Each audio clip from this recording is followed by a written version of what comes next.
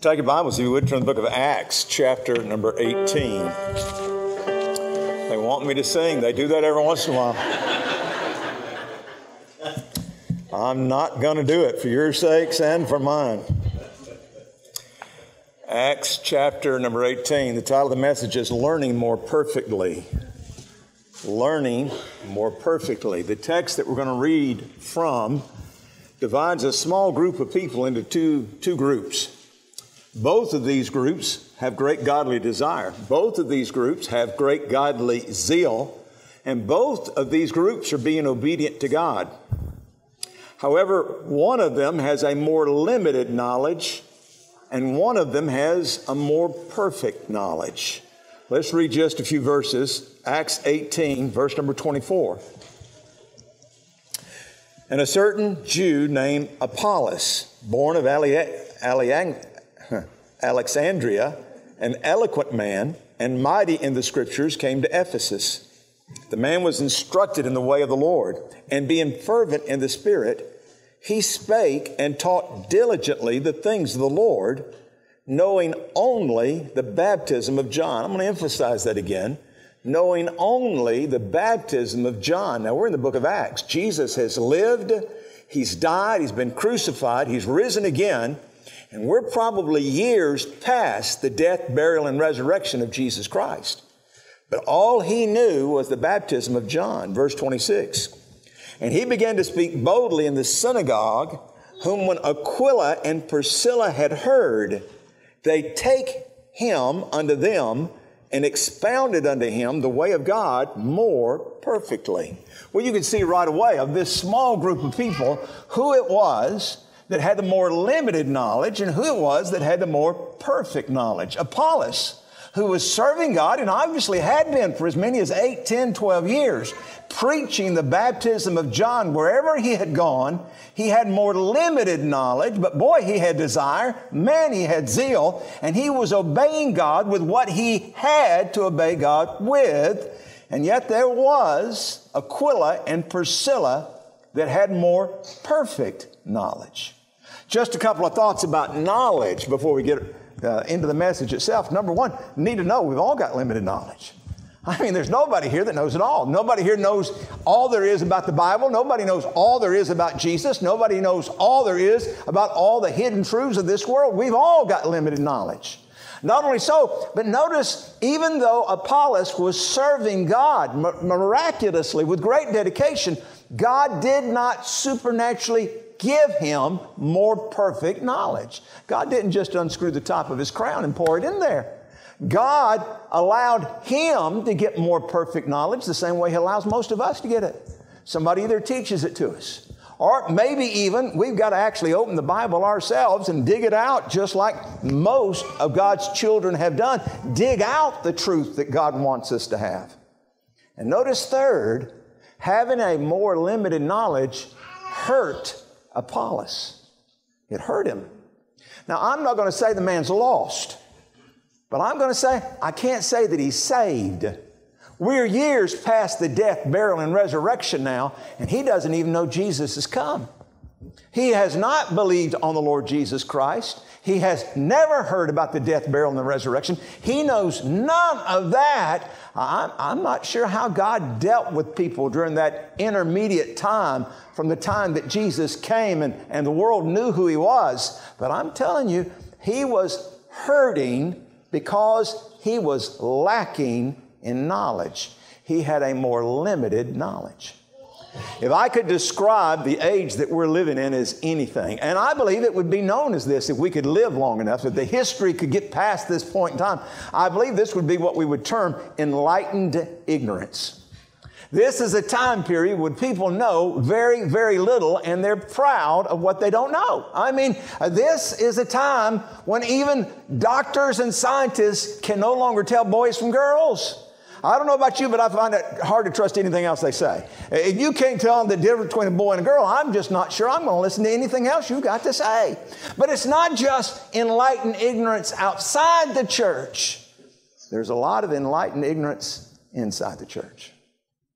The generation of believers that we have today has more access to the Word of God, to the preaching of the Word of God, to the written commentaries, to televised preaching than any other generation that's ever lived on the face of this earth. You've got it on your cell phones, you've got it on your computers, you've got it in your cars, and yet I dare say most Christians, no, no, no, I don't want to say that. Many Christians, many Christians could not even tell you how to be saved. They would say that they are saved, but if you ask them why, many Christians would not be able to tell you what you need to do to be born again. This is a day of enlightened ignorance. This morning, for a few moments, and I say a few moments because I know I'm not going to get finished with this message. So at some point, I'm just going to stop. I actually was foolish enough, I had three points. I'm not sure I'll get finished with the first point. But I want to share with you what Bible believers believe. I'm not talking about Baptists this morning. Uh, I'm a Baptist, but I'm only a Baptist as far as the Baptists believe the Bible. If the Baptists veer away from the Bible, I won't be a Baptist because I am a Bible believer.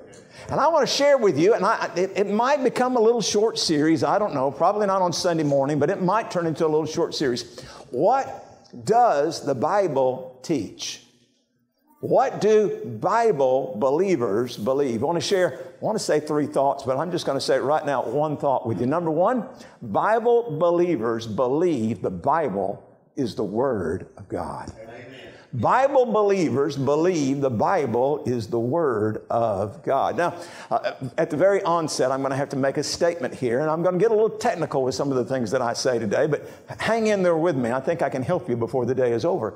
Uh, number one, I, I need to point out you can't use the Bible to prove the Bible is true.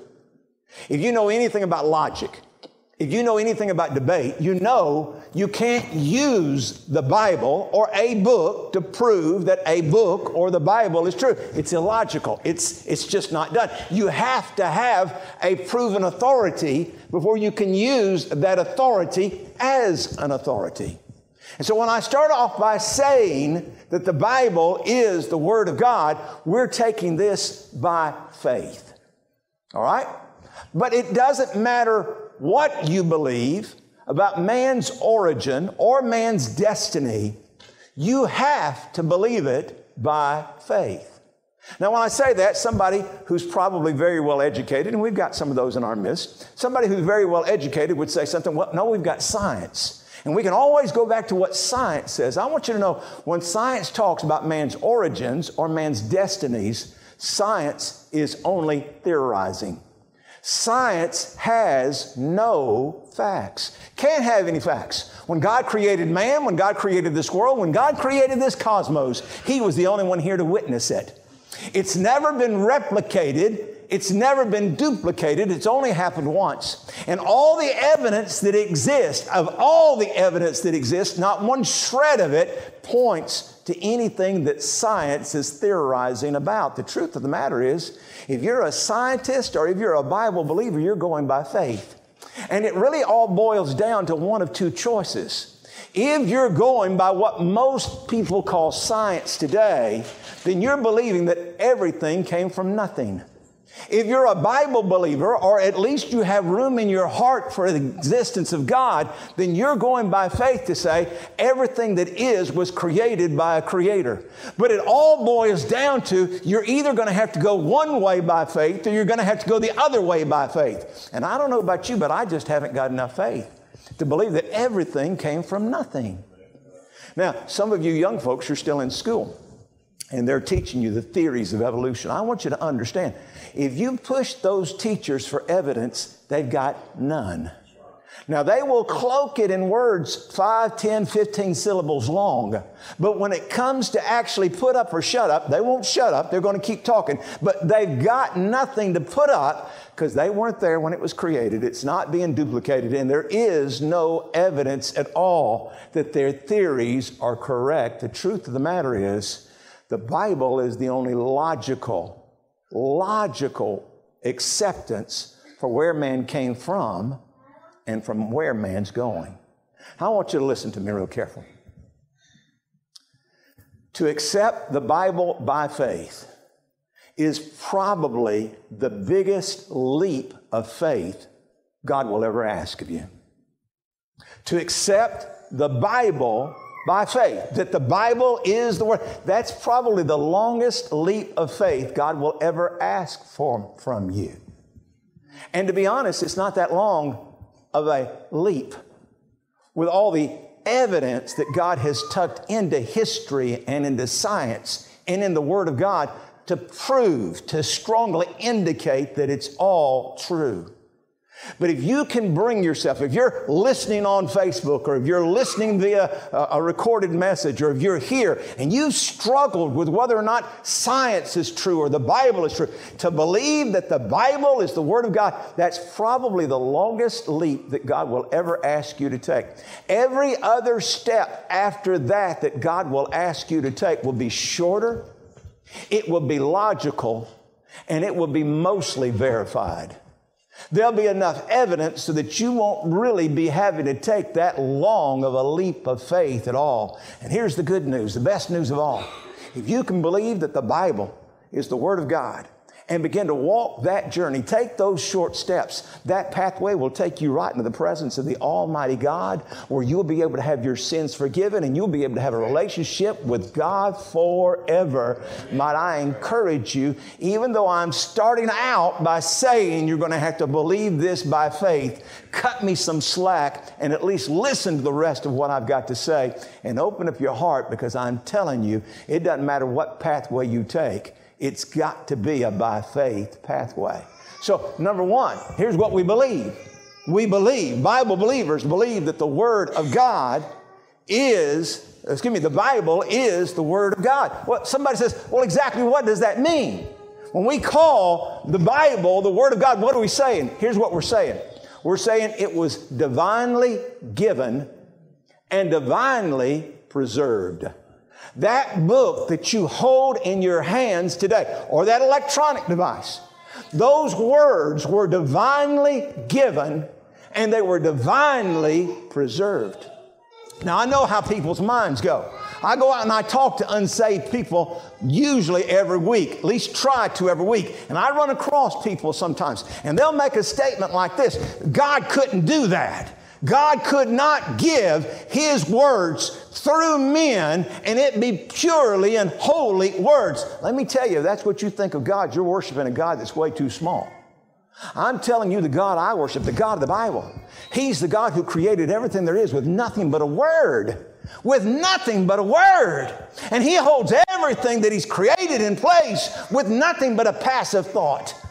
He doesn't even have to focus on it. He just had a thought. Stay there and she ain't moved yet. What's more, he knows every thought that's in every human mind that ever has lived, ever will live, or is living right now, and he knows those thoughts right now in this very instant. And he's able to do all of that without expending any energy or effort at all. I'm telling you, we just don't know how big our God is. Man tries to take God and put him in the thimble of his mind. Friend, God won't fit in the thimble of, of a mind. God's so big, there's not one part of him that will fit in the human mind. That's why we have to expand our mind and accept some things about God by faith. Because our minds just aren't big enough to comprehend how big and holy this God is. So, what does the Bible mean? When the Bible describes itself as the Word of God, it means number one, it was divinely given. By the way, the Bible says so. Now, I'm not going to ask you to turn to a lot of Bible passages with me, but if you'd like to turn to a couple, I would encourage you to go over to the book of 2 Timothy, chapter 3. Look at verse number 16. Now, you should know this Bible. If you're a born again believer, you should know this Bible verse. You don't have to memorize it. Now, if you did, it wouldn't break your brain. But you don't have to memorize it, but you ought to at least know where it is in the Bible. Because sure enough, some skeptic, some, some God hater, some doubter is going to come to you and laugh at you because you believe that the Bible was divinely given. Well, yeah, you got to take some of it by faith, but listen to what the Bible says. Verse number 16.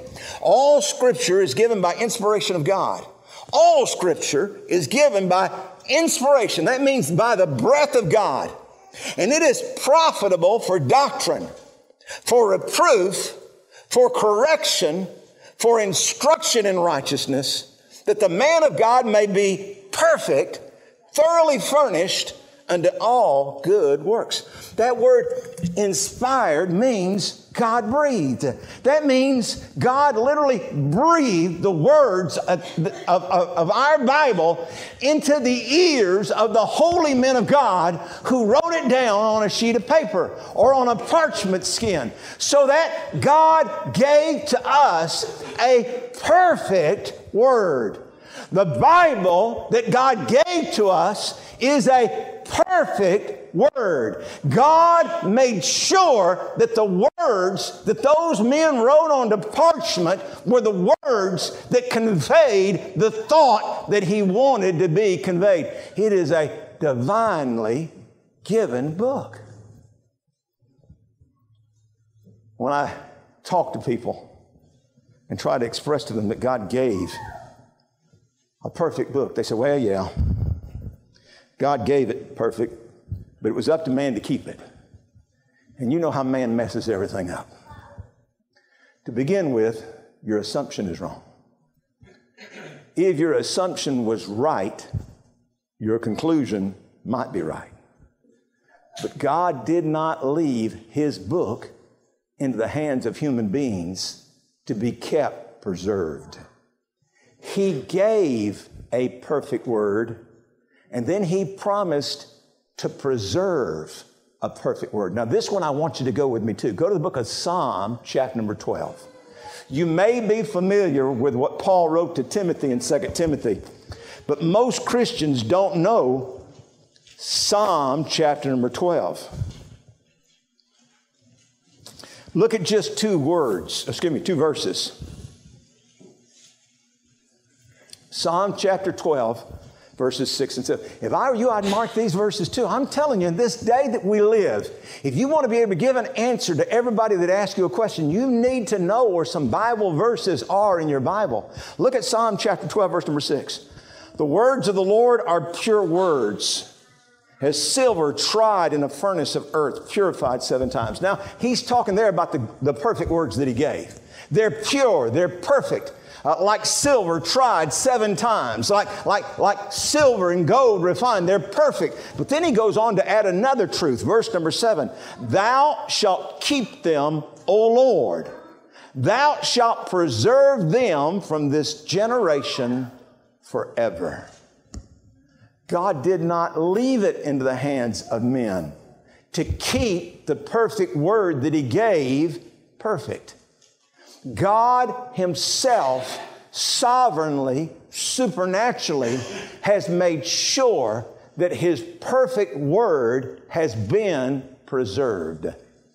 That means all the power of God, all the power that created all that there is, all the power that will one day be uh, present before God when He judges both sinners and saints. All the power of God that's required and, and much, much more to hold all things and all of that power is at His disposal to make sure that His Word is not perverted, is not corrupted.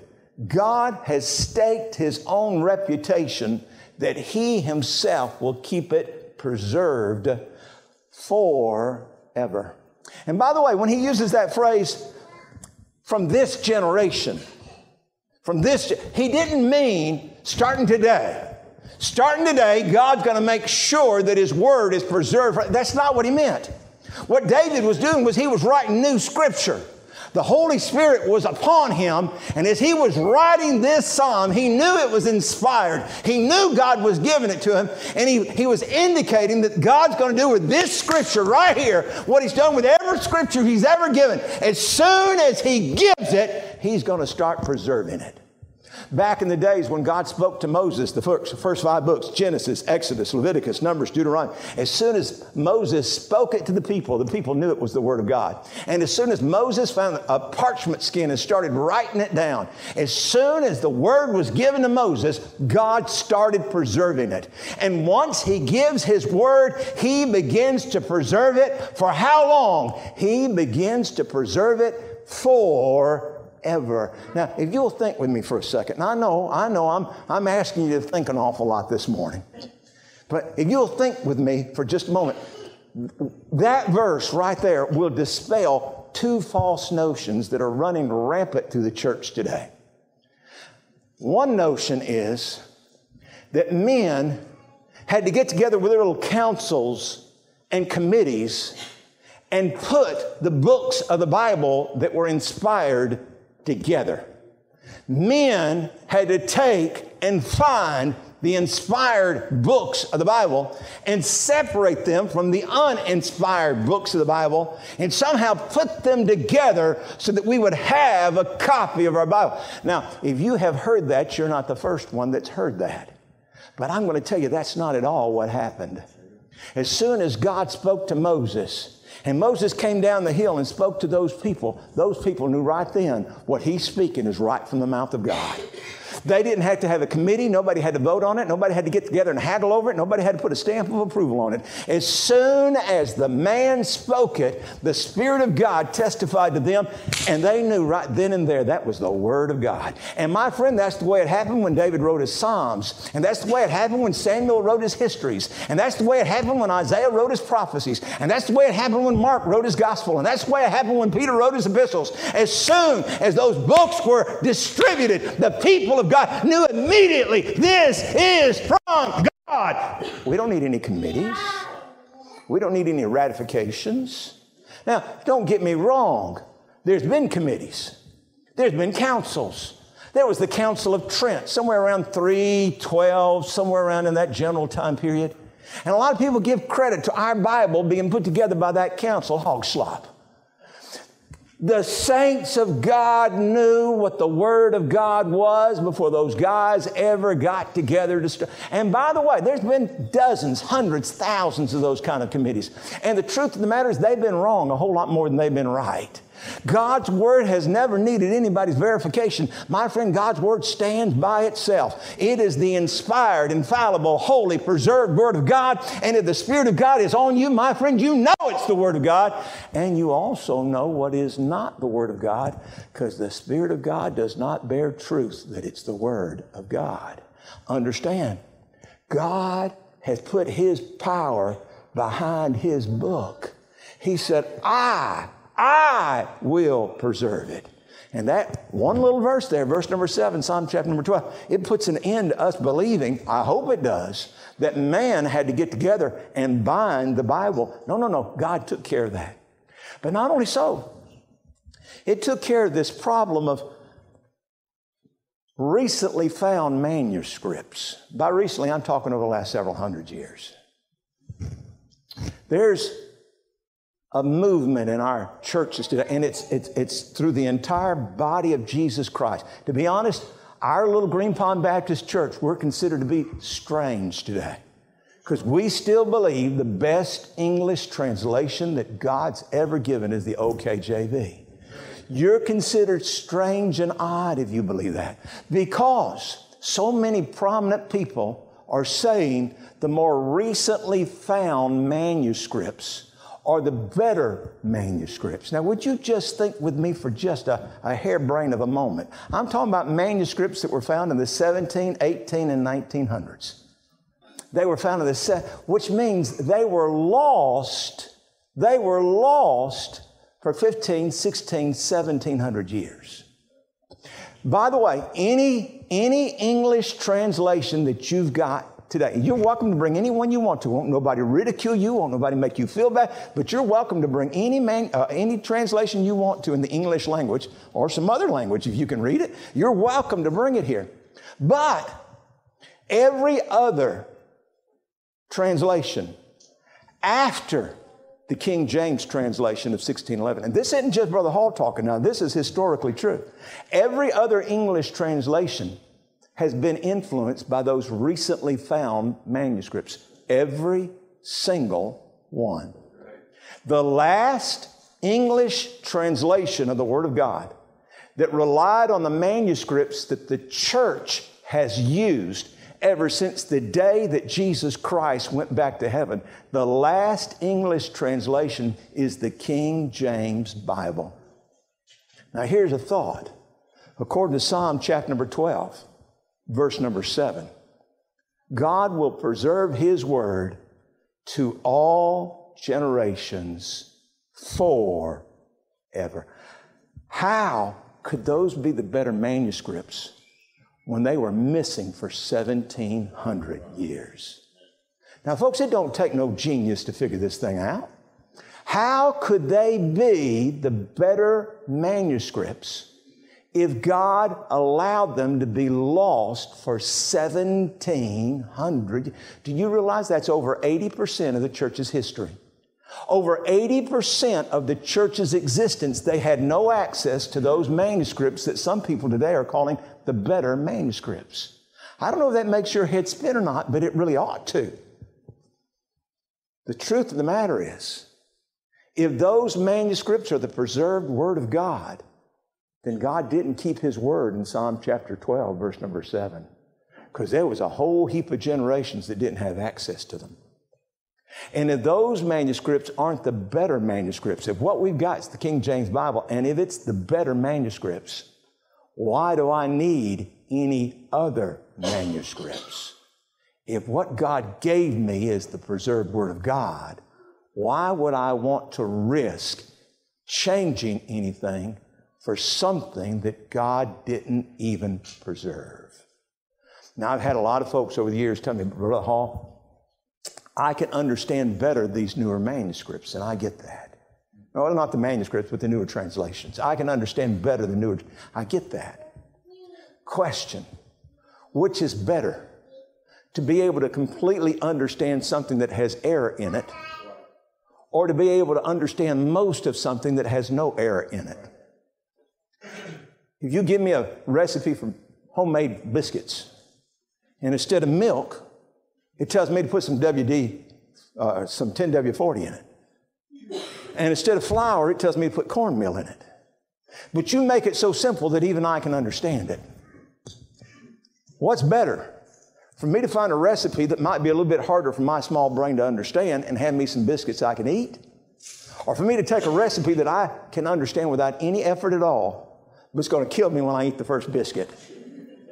Uh, the truth is, if I have to work a little bit to get to the truth, it's better to have a book that I have to work at to understand and know what I'm getting is true than it is to understand something real easy and be at risk of getting it wrong. I'm just saying the Bible is the Word of God, and that means two things.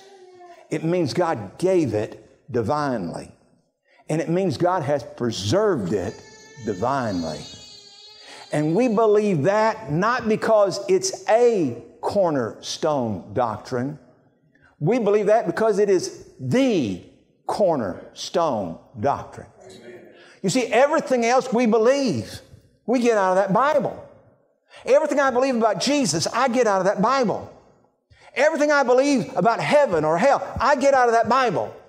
Everything I believe about God, everything I believe about damnation, everything I believe about the judgment, everything I believe about holiness and purity, I get out of that book. I need a book that is completely reliable. I need a book that has not been tainted or influenced by documents that God did not even allow the church to use for 1700 years. I need a Bible that is the Word of God. God gave it pure, God gave it perfect. He promised to keep it perfect. I need that book. Now, listen. I know I'm preaching on some dangerous waters here, but this, this is really just one of the fundamentals of the faith. You're not going to believe this, but this is the kind of preaching 100 years ago every pastor did. Right. Nowadays, we can't do this kind of preaching. We offend folks easy, and to be honest, we get over some folks' head too quick. But, but if you don't understand how important your Bible is, the devil won't have any problems at all snatching you off the right course. Now, I don't care what translation you use. I don't care. I have them all.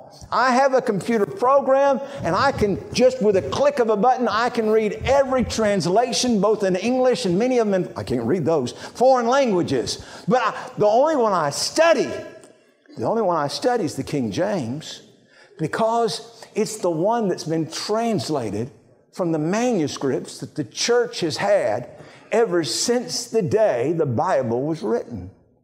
But I want you to understand I'm not saying there's not some things in the good old King James Bible that I don't understand, because there are.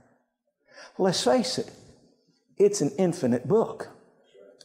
I got a very finite mind. There's some things in that book, I've been studying now for over 50 years. I've been a pastor called to preach for 48 years.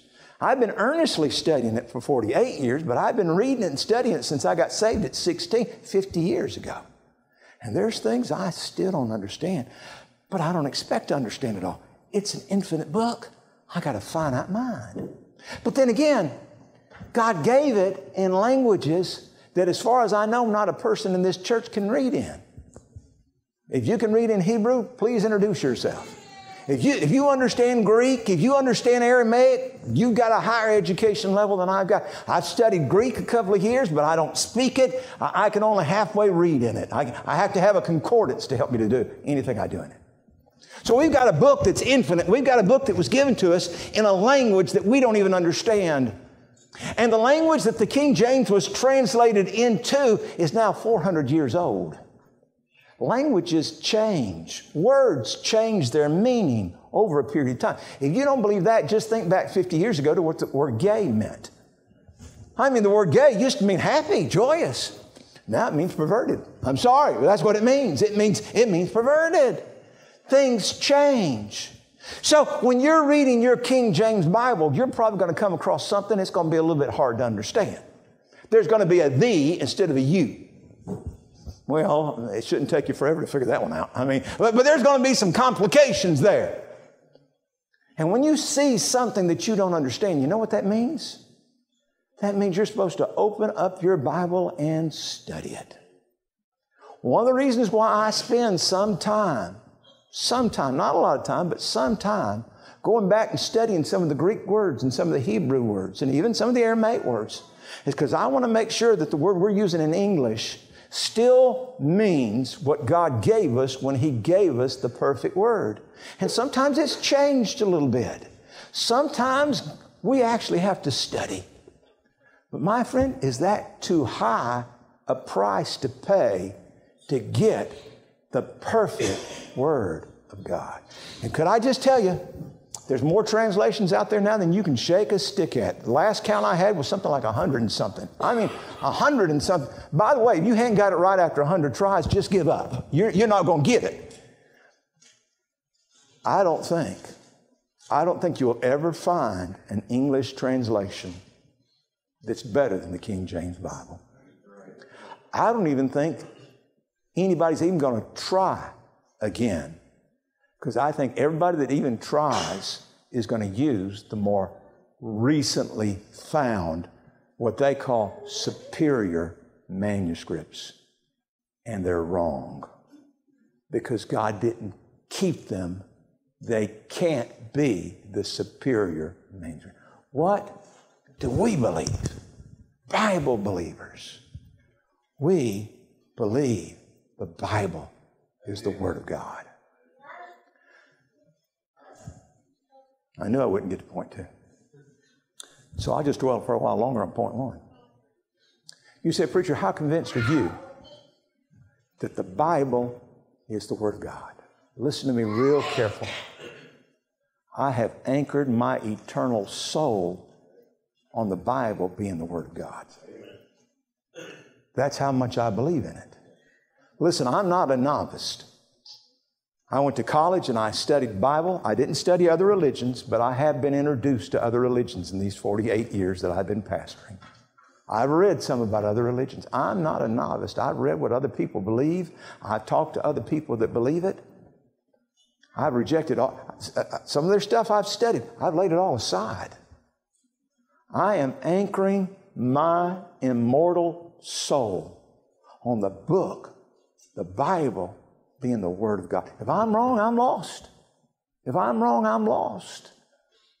But if I'm right, I got heaven and all the rewards that are promised to those that believe that black back book. And friend, I think I'm in good company. And I hope you are too. Oh, I don't want to stop. So I'm going to give you one more thought. I'll shut up quick. Bible believers believe in a salvation by grace. What does that mean? That means God gave it. God, like a gift. Ephesians 2 8 9, for by grace are you saved, that not of yourselves, it is a gift of God. It is a gift of God, not of works, lest any man should boast. John 3 16, for God so loved the world, he gave. He gave. You understand how gifts work. You don't have to earn a gift, you just have to take a gift. If you decide to take the gift of salvation, you will respond to what you've heard and to what the Spirit of God does in your heart.